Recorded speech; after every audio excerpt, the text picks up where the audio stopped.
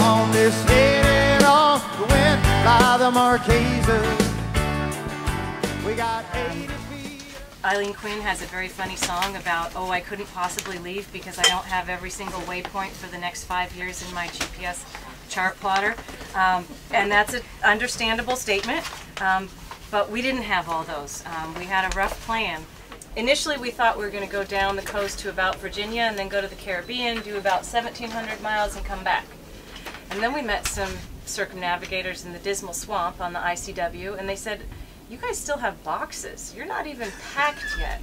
Maybe you should think about the Bahamas. It's only 90 miles off the coast, and it really is a lovely place.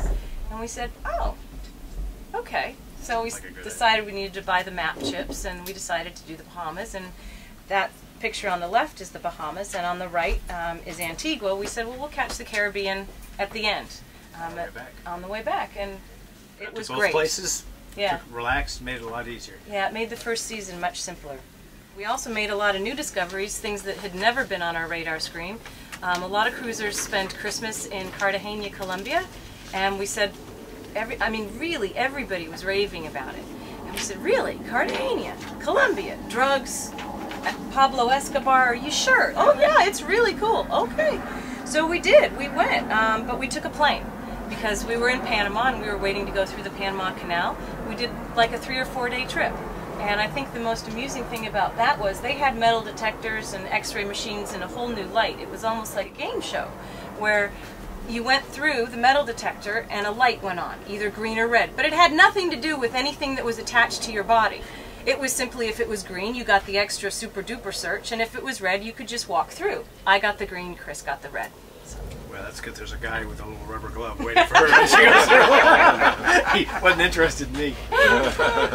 And we also made our schedule a little bit more uh, manageable for us um, by taking a plane places. Um, like the slide says, nothing goes to windward like a 747. Um, we went from Fiji to Australia and spent the winter months in Australia. Um, The guy we were talking to, he said, uh, "You'll break two plane tickets worth of gear getting your boat to New Zealand.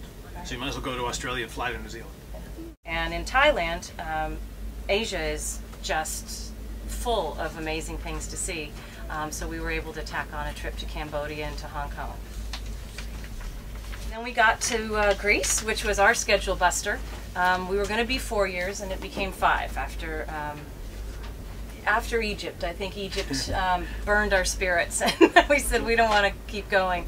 So we took our time in Greece, and we started in Rhodes, and we went all the way up along the coast, um, kind of just on the Greek side of the border between Greece and Turkey, um, up to Thessaloniki and the mainland, um, around Mount Athos and the Suddenly, all our friends who didn't visit us in Sudan, they didn't visit us in Egypt, they all came out of the woodwork, and we got, I think, seven different sets of guests, all of whom stayed for two weeks over the year we were in Greece. They all just went out there. and something that made it easier in the med for us.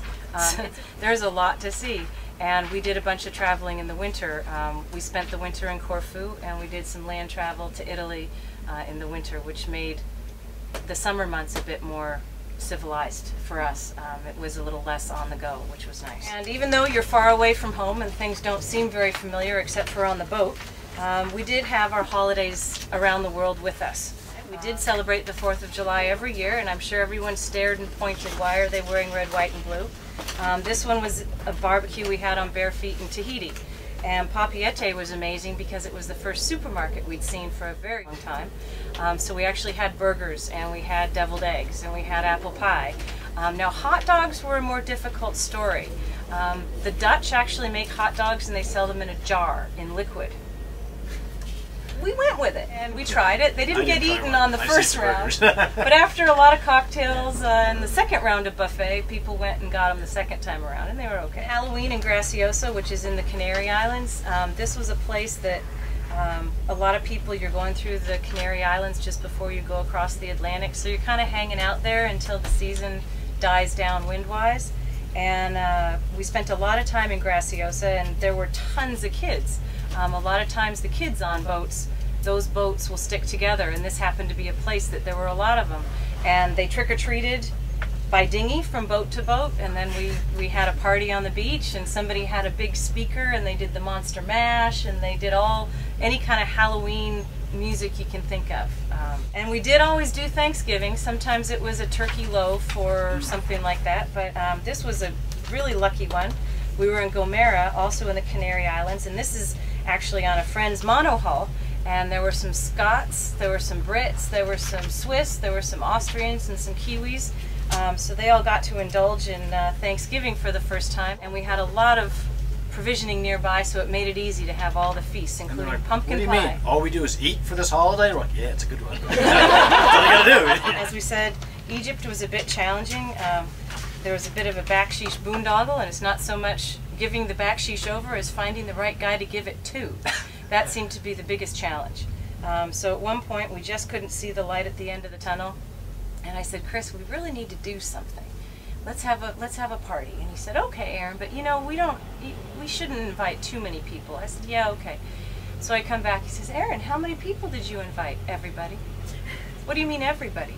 Everybody. I invite everybody. You can have 57 people on this boat, and you can actually sink it two or three inches and have it canted up like this if they're all in your stern here. farting away. And the reason is we can't leave Ismailia is Ismailia is a little town halfway through the Suez Canal, and you can't leave without a pilot. And we'd say, we need a pilot, and they say, of course, he'll be there tomorrow, 3 in the morning. So you wake up at 2 in the morning, you get all ready, 4 in the morning, he's not there, 5 in the morning, he's not there. You call up, uh, where's Ahmed? He's supposed to be here at 4 in the morning. He told me he would be there. I believe him. okay, call us if he's not there by 9. Four days in a row. And every time we're up, getting all ready, and no. And finally we could leave, but everyone was getting very frustrated because the boats were stacking up. And, they only have so five, five pilots. pilots, and there's 32 boats coming in, and just, it was all, I mean, it's nothing problem, you just have to be patient, but it's uh, upsetting. So a party helps. Yeah, hard. Looking